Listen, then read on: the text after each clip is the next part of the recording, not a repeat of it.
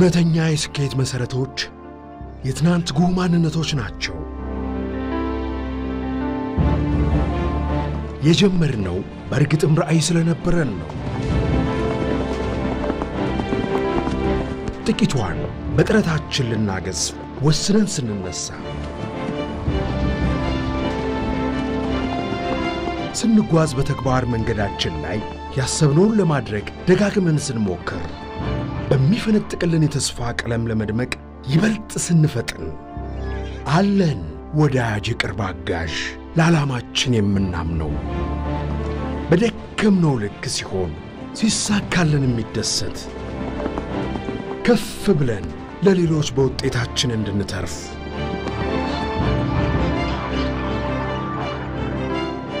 አብሮን የነበረ አብሮን የሚዘልቅ ባንክ ነው። ኦሮሚያ ባንክ፣ የሕዝብ ባንክ። ኦሮሚያ ባንክ የቢዝነስ ዘገባ ስፖንሰራችን ነው። እናመሰግናለን። ጤና ይስጥልን ክቡራን ተመልካቾቻችን። አሁን ደግሞ ወደ ቢዝነስ ዘገባዎቻችን ነው የምናመራው። ከዘገባዎቹ ጋር ሀብታሙ ተፈራ ነኝ። የፐብሊክ ሰርቪስ የትራንስፖርት አገልግሎት 150 ሺህ ዲጂታል መታወቂያ ወደ ሀገር ውስጥ ማስገባቱን አስታወቀ። መታወቂያው በሁለት ወራት ውስጥም በሙከራ ደረጃ ተግባራዊ ይሆናልም ተብሏል። የ public service transport አገልግሎት የ IT ዳይሬክተር አቶ ቃል ኪዳን ገበየው ለኢትዮጵያ ፕሬስ ድርጅት እንደገለጹት ዲጂታል መታወቂያው የ NFC ቴክኖሎጂን የሚጠቀም ሲሆን ይህም መታወቂያ ያለምንም ንክኪ በ sensor እንዲሰራ ያደርገዋል። ይህ ዲጂታል ካርድ ከዚህ ቀደም አገልግሎት ሲሰጥበት የነበረውን የወረቀት መታወቂያ ላይ ያሉ ችግሮችን የሚቀርፍ ነው ያሉት ዳይሬክተሩ በተለይ የቀደመው መታወቂያ በቀላሉ መሰራት የሚችል በመሆኑ ከቅርብ ጊዜያት ወዲህ እየገጠሙ ያሉ የ forged ን መታወቂያ መስፋፋትን የሚያስቀር ነውም ብለዋል። እንደ ዳይሬክተሩ ገለጻ መታወቂያው ዲጂታል ነው ሲባል የአንድን ሰው ሙሉ መረጃ የሚይዝ ነው። በአውቶቡሶች ላይም ካርዱን የሚያረጋግጥ ሶፍትዌር የሚገጠምም ይሆናል።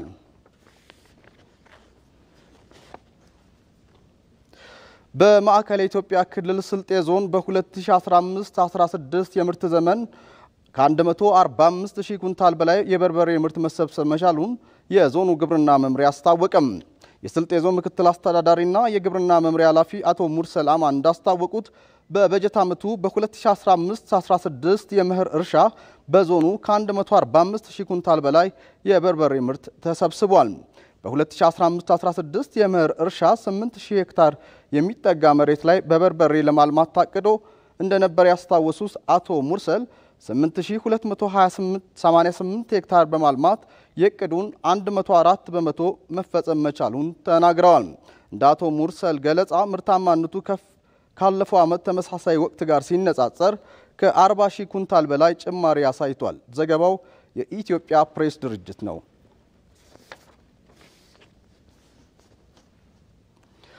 የሀገር ውስጥ የጫማ ምርት ከጥራትም ሆነ ከዋጋ አንጻር ከውጭ ከሚገባው ተወዳዳሪ እየሆነ መምጣቱን ተጠቃሚዎች ተናገሩ። አምራቾች ጥራቱን የጠበቀ ምርት በተመጣጣኝ ዋጋ ለማቅረብ እየሰሩ ቢሆንም በኮንትሮባንድ የሚገባው ምርት ተግዳሮት እንደሆነባቸውም ገልጸዋል። ቅድስት ማሞ ተጨማሪ አላት።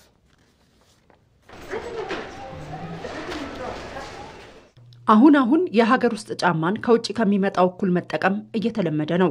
በአዲስ አበባ ከተማ ተዘዋውረን ባየናቸው የጫማ መደብሮች ያገኘናቸው ሸማቾች ምርቱን ከጥራትም ሆነ ከዋጋ አንጻር ተመራጭ ማድረጋቸውን ይናገራሉ። የሀገር ውስጥ ምርት ነው የሚጠቀመው። የውጭ ጫማ አድርጌም አላውቅም።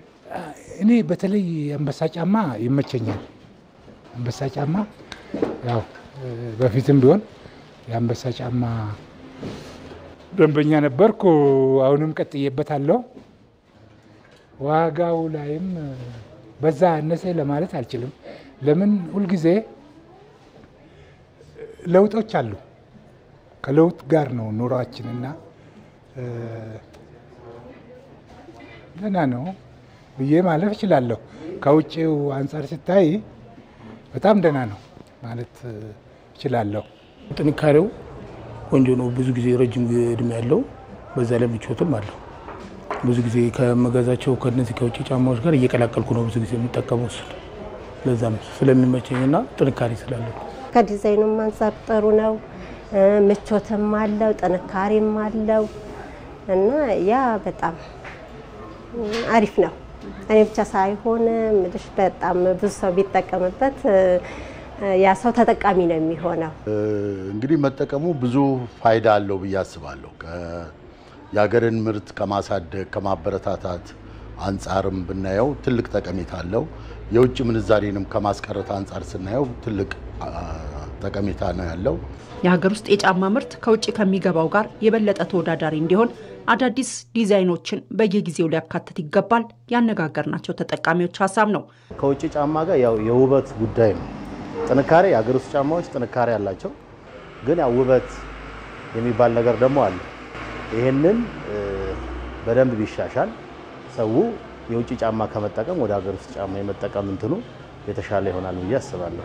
የራምሴ ጫማ የሽያጭ ስራ አስኪያጅ ተስፋዬ ደቻሳ ምርቱን በተሻለ ዲዛይንና ጥራት እያቀረቡ መሆኑን ገልጸው ነገር ግን በዘርፉ የኮንትሮባንድ ንግድ ከፍተኛ ችግር ነው ይላሉ።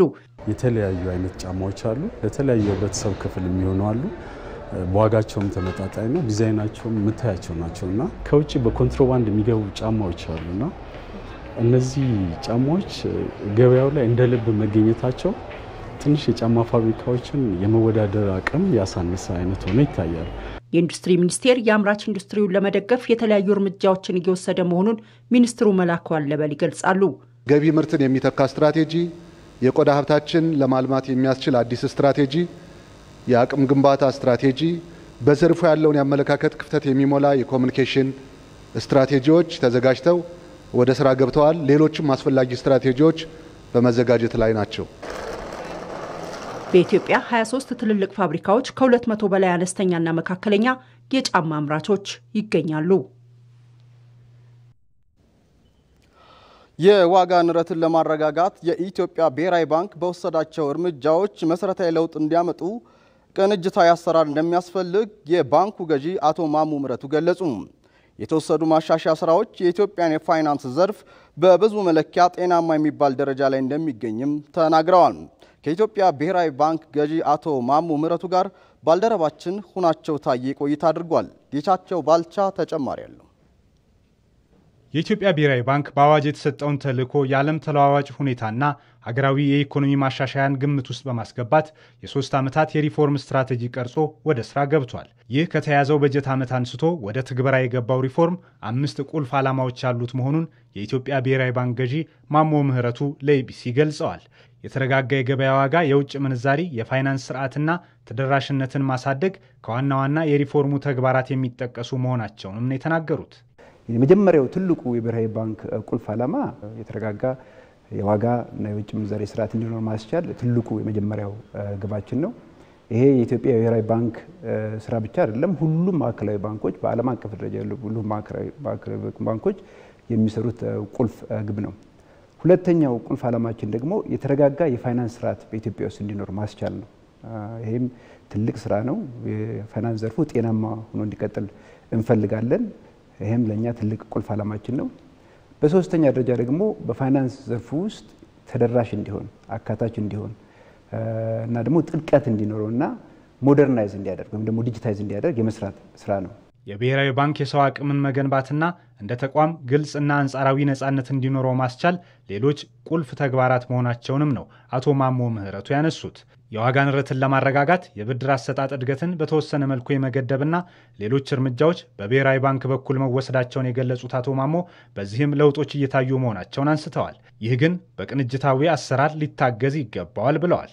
አንደኛው ብሔራዊ ባንክ የወሰደው እርምጃ በአጠቃላይ በኢኮኖሚ ውስጥ ያለውን የብድር እድገት በ14 percent ገትተነዋል። ስለዚህ የብድር አቅርቦት እንዲቀንስ አድርገናል። ይህም በዋነኛነት በኢትዮጵያ ውስጥ የተረጋጋ የዋጋን ሁኔታ እንዲኖር ለማስቻል ነው። ሁለተኛና መሰረታዊ የሚባለው እርምጃ ደግሞ ብሔራዊ ባንክ ለመንግስት ለገንዘብ ሚኒስቴር የሚሰጠውን ቀጥታ ብድር በ75 percent ቀንሰነዋል። በተግባር ጥብቅ የሆነ የገንዘብና የ fiscal ፖሊሲ እየተከተል ነው። ይሄ በመሆኑ በአሁኑ ሰዓት በተለያዩ product ኦች ላይ የዋጋ ንረቱ እየቀነሰ እንደሆነ ማየት እንችላለን። ምሳሌ ለመጥቀስ ለምሳሌ በበቆሎ ብታይ፣ በሲሚንቶ፣ በብረት፣ በሸቀጥ እቃዎች ላይ የዋጋ ንረቱ እየቀነሰ ከዛም አልፎ ከባለፈው ዓመት እየቀነሰ የመጣበት ሂደት አይተናል። ይሄ ግብ ሊሳካ የሚችለው በብሔራዊ ባንክ ስራ ብቻ ሳይሆን ሌሎች የመንግስት ተቋማት ህዝቡን ጨምሮ በቅንጅት በጋራ በትብብር ስንሰራ ነው። ስለዚህ ይህን ችግር ለመቅረፍ በቁርጠኝነት እየሰራን ነው። የፋይናንስ ዘርፉን ጤናማነት በተመለከተ ባነሱት ሀሳብም በብዙ መለኪያዎች እድገት መኖሩንና ይህም የዘርፉን ጤናማነት ማሳያ መሆኑን ገልጸዋል። የኢትዮጵያ ባንክ ዘርፍን በምንመለከትበት ጊዜ በቅርንጫፍ ብዛት ብትወስድ፣ በተቀማጭ ገንዘብ ብንወስድ፣ በተከፈቱ account ኦች ብዛት፣ በብድር አሰጣጥ፣ በአጠቃላይ የፋይናንስ ዘርፉ ጤናማ ነው ብሎ መናገር ይቻላል በአጠቃላይ የባንክ ዘርፉ ጠቅላላ ሀብት በአሁኑ ጊዜ 3.16 ትሪሊየን የኢትዮጵያ ብር ደርሷል። ይሄ ከአምና ጋር ሲወዳደር በ16 percent አድጓል። ሁለተኛ ባንኮች እየሰበሰቡት ያለው ተቀማጭ ገንዘብም እንዲሁ አድጓል። በአጠቃላይ ተቀማጭ ገንዘባቸው ወደ 2.3 ትሪሊየን ብር ደርሷል። ከአምና ጋር ስናወዳደረው የ24 percent እድገት አሳይቷል። ባንኮች የሰጡት ብድርም እንዲሁ እያደገ ነው። ከዓመት ዓመት እያደገ ነው።